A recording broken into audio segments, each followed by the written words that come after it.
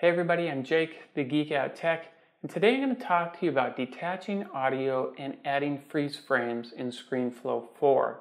When ScreenFlow 4 records, it likes to group together video and audio that are related to each other, such as here the FaceTime camera, video, and the audio from the built-in microphone are grouped together in one clip.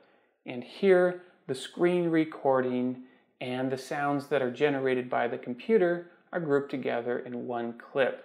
If you want to detach the audio so you can either delete it or work on it separately, all you need to do is select what clip you want to detach the audio from, right click and select detach audio. And then it puts the audio on another track and you can do whatever you want with it. Now, one of the nice things that you can do in your in your projects if you're adding a lot of video actions and audio actions, they can kind of get convoluted together if the audio and video is on one clip.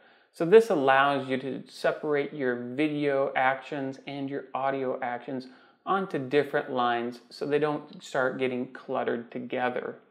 Two things to note that when you detach the audio, first, you can't reattach it. And second, just be careful when the audio is on a separate line, it's easy to get the audio clips moved around and then they won't line up properly with the video. Say here, if I did something, I took this audio and I shifted it to the left and I didn't realize it, now the audio is not lined up with my video. So just be careful of that situation. And now let's talk about freeze frames. So down here later in the video, let's see right here, I'm going through a sequence on how to reduce noise with Adobe Audition, but I go through the steps a bit too fast. Let me show you. I do these menu selections a bit too fast.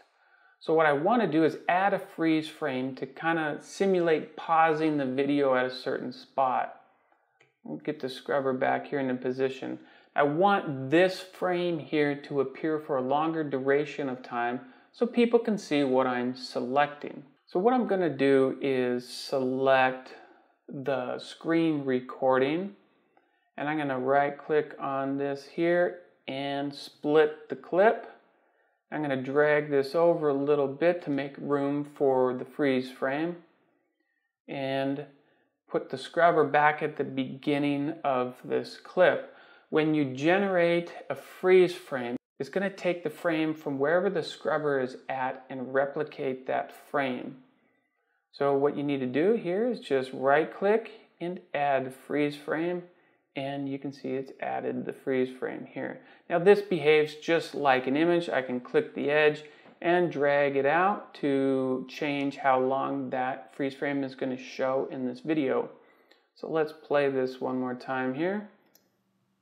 Goes through it there and it freezes, shows up for a longer period of time. Now people can tell what I'm clicking on better in the menu items. But there's one problem here. Now I've taken this clip and it's offset from everything else. Now the, it's not lined up properly with the FaceTime camera. So let me show you how to keep things lined up. Go back here. Now you can just split all the clips together at once and then select here and add a freeze frame. Let's say I want it to last a bit longer. So I can drag this out. And now I can drag these clips to line up again. And now all the FaceTime camera clips and the screen recording are all lined up together again. Now you can add a freeze frame to the end of a clip also just take the scrubber and position it at the end of the clip. Click here, right click, add freeze frame, and there's the freeze frame there. Now if you want to insert a freeze frame into the middle of a clip, all you have to do is position your scrubber, select the clip, right click on it and add freeze frame and it automatically splits the clip and inserts the freeze frame with no gaps at all. So that's adding freeze frames and detaching audio with ScreenFlow 4. I'm Jake, the Geek Out Tech. Thanks for watching.